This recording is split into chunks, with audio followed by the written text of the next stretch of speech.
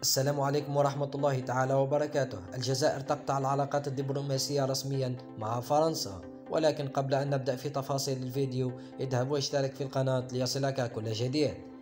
قررت السلطات الجزائرية تعليق كامل اللقاءات والاجتماعات التي كانت مقررة مع الجانب الفرنسي وتجميد الاتصالات الدبلوماسية مع باريس. وكشفت مصادر خاصة أن الرئيس الجزائري عبد المجيد تبون أمر وزارة الخارجية بتجميد كافة الاتصالات الدبلوماسية مع الجانب الفرنسي وذكرت أنه تم توجيه تعليمات إلى دائرة فرنسا في وزارة الخارجية الجزائرية. التي استحدثت منذ فترة قصيرة ضمن الهيكلة الجديدة لوزارة الخارجية بعدم الرد على أي اتصالات أو مراسلات من السفارة الفرنسية في الجزائر أو من الخارجية الفرنسية من باريس ومن كل الهيئات الفرنسية حتى إشعار آخر. على خلفية الأزمة التي أثارتها تصريحات الرئيس الفرنسي إيمانويل ماكرون بحق الجزائر وتم توجيه تعليمات من الرئاسة في نفس السياق تقضي بتجميد جميع الأنشطة والاجتماعات واللقاءات الدورية التي كانت مبرمجة مع الطرف الفرنسي سواء في الجزائر أو في باريس وفي جميع قطاعات التعاون السياسي والدبلوماسي والاقتصادي بين البلدين. ويشمل الأمر التعاون في مجالات الثقافة والتربية والتعليم العالي وتعليق تنقل وفود رسمية بين البلدين عدا ما يتعلق بالأنشطة الدولية التي تعقد في فرنسا على غرار سفير وزير التربية عبد الحكيم بالعابد للمشاركة في مؤتمر يونسكو المنعقد منذ 9 نوفمبر الحالي وينتهي في 24 نوفمبر أيضا خصوصا أن السلطات الجزائرية التي ألغت في شهر أبريل الماضي زيارة كان مقررا أن يقوم بها رئيس الحكومة الفرنسي جان كاستيكس إلى الجزائر.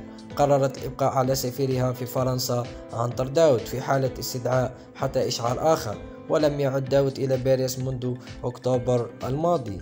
وكانت صحيفة لوبينيون الفرنسية قد نقلت يوم الأربعاء الماضي عن مصدر رسمي تأكيده أن ماكرون حاول الاتصال بتبون يوم الاثنين الماضي بهدف دعوته لحضور مؤتمر باريس حول الأزمة الليبية الذي عقد أول أمس الجمعة إلا أنه لم يتمكن من الحديث مع الرئيس الجزائري وهي سابقة في تاريخ العلاقات بين البلدين.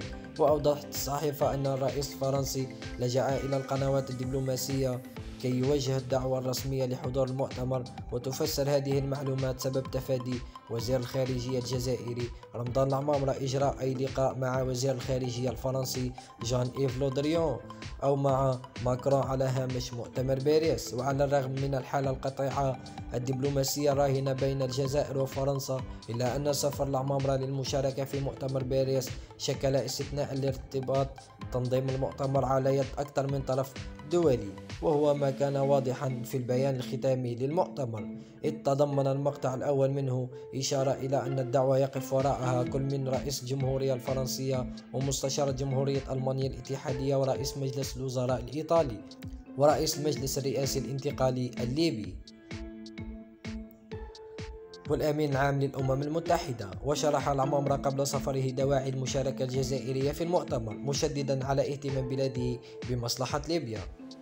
فيما أكد مصدر دبلوماسي جزائري أن سبب سفر العمامرة مرتبط بإلحاح الليبيين.